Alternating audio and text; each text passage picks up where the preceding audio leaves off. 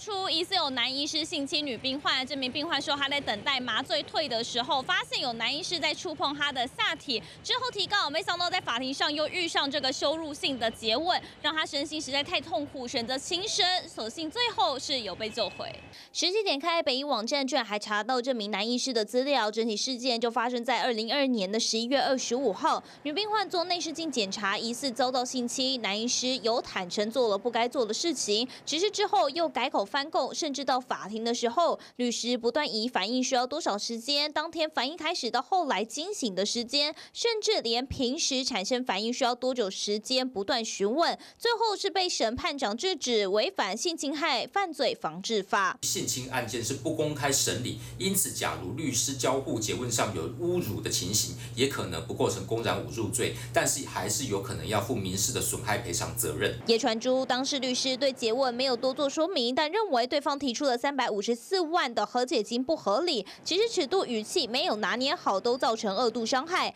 八月，女病患留下遗书说，七二九出庭后身心非常痛苦，律师的提问让他觉得是个犯人，冒犯到隐私，难以释怀，没办法生活下去，最后选择轻生，所幸被及时救回。还原现场跟追求真实，所以他。呃，难免会碰触到就是涉及被害人隐私的这个性经验的一个情况。那可能因为在过程当中呢，语气用的是比较激烈，或者是用很多质疑的方式，让被害人觉得受到了屈辱。事后，男医师更对这名女病患提出诬告，虽然检察官不起诉，但身心都已经受创。而北医也回应，已经对当事医师予以记过跟停权等惩处，全案已经进入司法程序，接续也会全力配合调查。今日新闻，周日家庭台北场报道。